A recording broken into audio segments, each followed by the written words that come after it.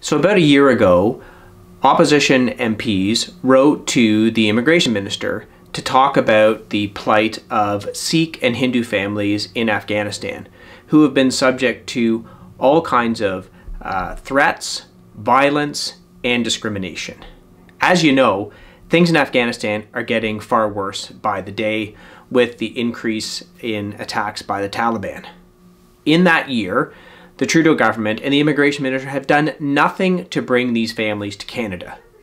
What we're asking for is something that's been done before a special program to expedite these families to come to Canada, all of whom have families that are prepared to sponsor them.